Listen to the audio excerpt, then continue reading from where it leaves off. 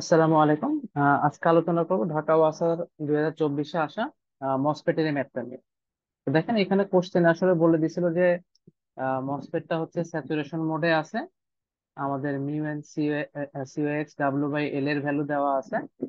ভিটি দেওয়া ছিল এক ভোল্ট এবং আমাদের এই যে এখানে যে ইনপুটটা আছে ভিআই সেটা আসলে দেওয়া আছে যে একটা স্কোয়ার ওয়েভ যেটা হচ্ছে নেগেটিভ পিক হচ্ছে মাইনাস জিরো পয়েন্ট টু আর পজিটিভ পিক হচ্ছে জিরো পয়েন্ট টু এন্ড আমাদেরকে বের করতে হবে ভি নট বা ভি আউটপুট যাই বলে।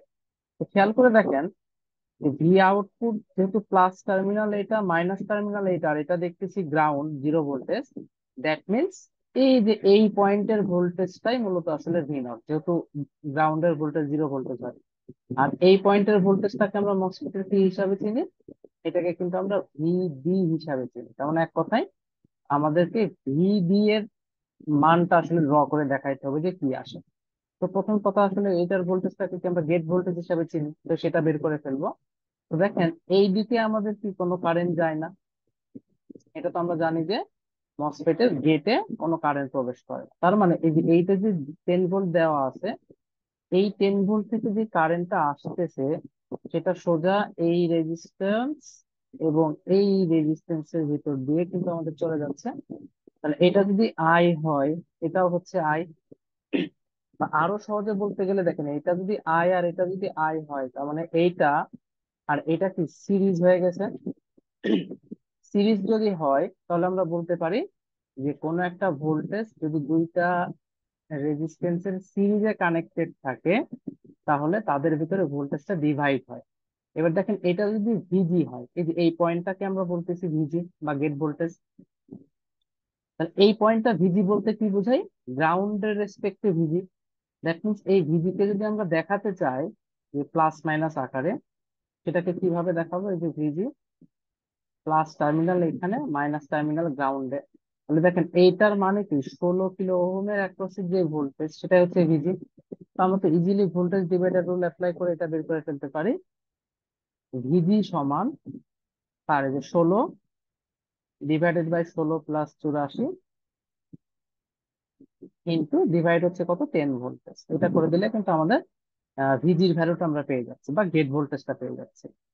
তাহলে উপরে হচ্ছে ষোলো ডিভাইডেড বাই ষোলো প্লাস চুরাশি ইন্টু টেন কত আসে দেখেন? ওয়ান পয়েন্ট সিক্স ভোল্টেজ তাহলে শুরুতে আমরা কিন্তু এই ভ্যালুটা পেয়ে গেলাম ইজিলি সেকেন্ড যেহেতু আমাদেরকে বলে দিছে যে মসফেটটা স্যাচুরেশন মোডে ছিল, তাহলে আমরা আই ডি এর সূত্রটা কীভাবে লিখতে পারি? Half mu n C O X W by L V G S minus V P তার হচ্ছে এই পুরো জিনিসের ভ্যালু আসলে আমাদের দেওয়া আছে কত? এক milli ampere per volt square তাহলে হাফ যদি গুণ করি কত হয়? হাফ কিন্তু আইডিটাকে আমরা মিলি অ্যাম্পিয়ারে রাখতে চাচ্ছি সো আমাদের এটাই এক মিলি অ্যাম্পিয়ার পার ভোল্ট স্কোয়ারই থাক। কিন্তু ভিজিএস মাইনাস ভিপি ভিজিএস কে আবার ভিজি মাইনাস ভিএস আকারে লেখা যায় মানে ভিজি মাইনাস ভিএস ভিপি হচ্ছে ওয়ান তার হোল স্কোয়ার সমান হাফ ওয়ান পয়েন্ট সিক্স থেকে ওয়ান বিয়োগ করলে হয় পয়েন্ট সিক্স মাইনাস ভিএস তার হোল স্কোয়ার তাহলে এই কিন্তু আমাদের আইডি এর ইকুয়েশন পাচ্ছি। এবার দেখেন ভিএস এর দুইটাই ভ্যালু হয় plus two plus zero point two অথবা মাইনাস জিরো পয়েন্ট টু তাহলে আমরা দুই ক্ষেত্রেই বের করব যে হোয়েন ভিএস ইকুয়াল তো আরেকটু বলে নিই ভিএস জিনিসটা কি? দেখেন মসফেটের জন্য সোর্স ভোল্টেজ এটা তো গ্রাউন্ডের রেসপেক্টেই তো এটা আসলে হয় ভিএস তো তো দেখতেছি কি ভিএন তার মানে এই সার্কিটে ভিএস যা ভি ইন অ্যাকচুয়ালি তাই বোঝাচ্ছে। সো আমরা ভি ইন এর জায়গায় ভিএস এর মানে এক ভিএস এর জায়গায় ভি ইন এর ভ্যালু বসাই।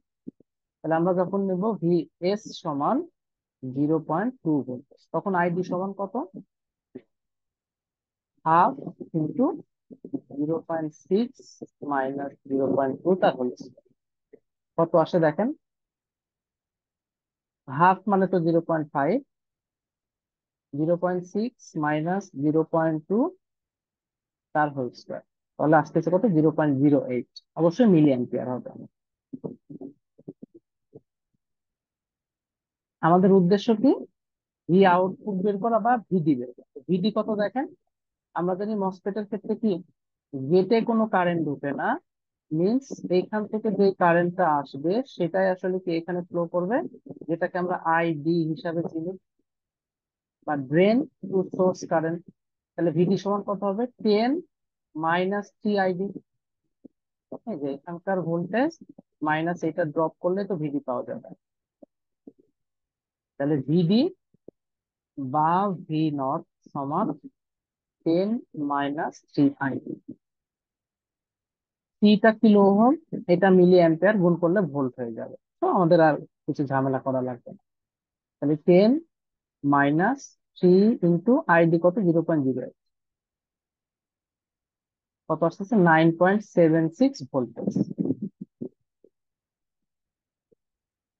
তার মানে যখন আমাদের ভিএস টা জিরো পয়েন্ট টু এটাই কিন্তু আমাদের সেই ভিআই তখন আমাদের ভি নট অথবা ভিডি যাই বলে কত? Nine point seven six voltage এবার আমরা বের করব যে হোয়েন এই যে ভিআই অথবা ভিএস এটা হচ্ছে মাইনাস জিরো পয়েন্ট তখন আমাদের আইডিটা কত আসবে? Half zero point six minus of minus two করলে কোথায়? প্লাস টু তার হোল স্কোয়ার কত আসে দেখেন?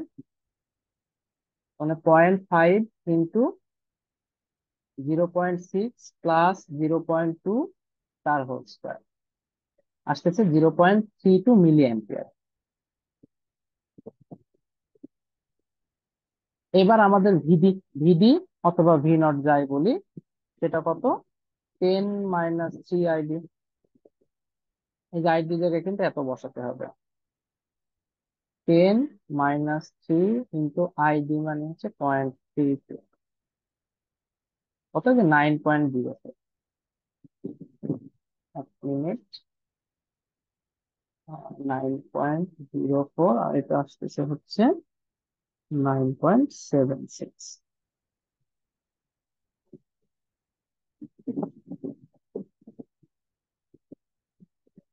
তাহলে আমাদের একটা আসতেছে nine point seven six voltage আর একটা আসতেছে হচ্ছে nine point zero four voltage আর একবার একটু চেক করে দেখুন ভ্যালুটা ঠিক আছে কিনা।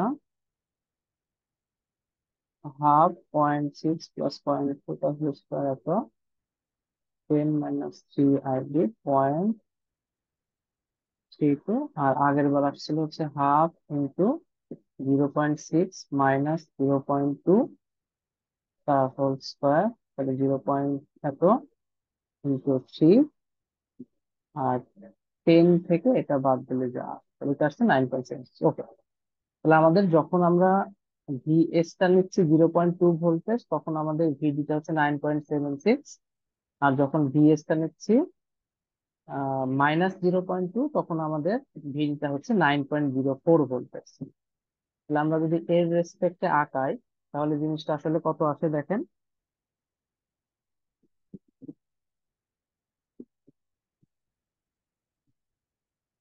অর্থাৎ আমাদের ইনপুটটা ছিল এইভাবে।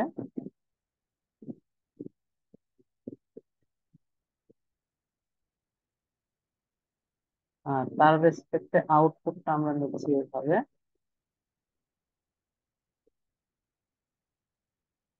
হচ্ছে minus point two plus point এটা হচ্ছে ইনপুট দেখেন, যখন আমরা এই যে ভিআইটাকে মাইনাস জিরো পয়েন্ট টু নিচ্ছি, তখন আমাদের ভিডিতে হচ্ছে নাইন পয়েন্ট জিরো মানে যে এই অংশটা। ধরলাম এটা হচ্ছে সেটা নাইন পয়েন্ট জিরো ফোর আর যখন প্লাস নিচ্ছি, তখন দেখেন কত আসতেছে? তখন আসতেছে নাইন পয়েন্ট সেভেন সিক্স ধরলাম এটা হচ্ছে সেই নাইন পয়েন্ট সেভেন সিক্স তাহলে এইভাবে আসলে চলতে থাকবে এইভাবে হচ্ছে নাইন পয়েন্ট সেভেন সিক্স এটা হচ্ছে আমাদের এইটাই হচ্ছে আমাদের এখানে জাস্ট আমাদের সার্কিট হিসাব করে কন্ডিশন দিয়ে ম্যাথটা আসলে সলভ করলেই হয়ে যাবে। এখানে খুব একটা বেশি ঝামেলার কিছু নাই। শুধুমাত্র কন্ডিশনটা বারবার আসলে আমাদেরকে অ্যাপ্লাই করে দেখতে হবে কি আসতেছে।